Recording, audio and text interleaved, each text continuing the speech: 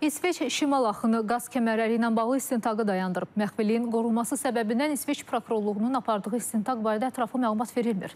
Qeyd edək ki, rəsmi olaraq Almaniya, Danimarka və İsveç istintaqa cəlb edilib, lakin hələ də araşdırmanın nəticəsi yoxdur. Cavabı tapılmayan sual isə şimal axınını kimin partlatmasıdır?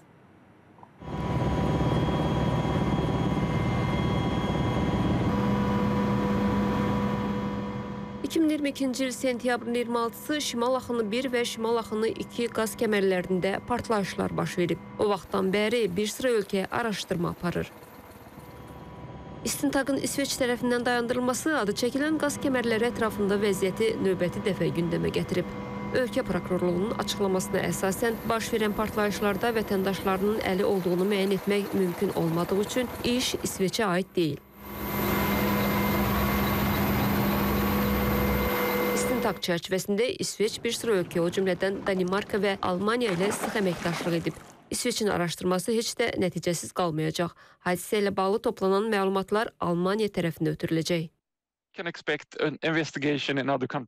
Digər ölkələrdə, xüsusilə Almaniyada istintaqın davam etdirilməsini gözləmək olar. Düşünürəm ki, hadisənin təsiri ilə birbaşa üzləşən Almaniyada araşdırmanın aparılması İsveç üçün vacibdir.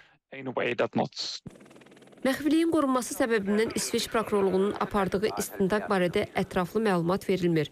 Ekspertlər hesab edir ki, partlayışlar yüksək səviyyəli siyasi qərar qəbul edənlər üçün həyəcan siqnalı olub. Baş verənlər sualtı infrastrukturun qorunmasının vacibliyini qabardıb.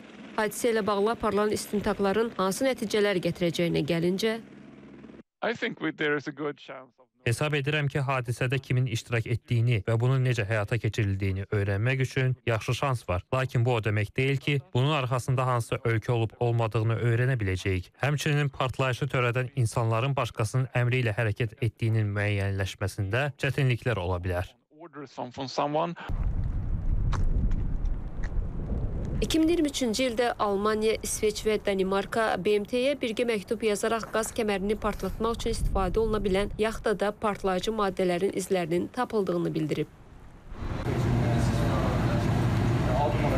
Şimal axını 1 və Şimal axını 2 qaz kəmərlərinin partladılmasında Rusiya, Ukrayna və müxtəlif qərb ölkələri şübhəli bilinsə də sual açıq olaraq qalır.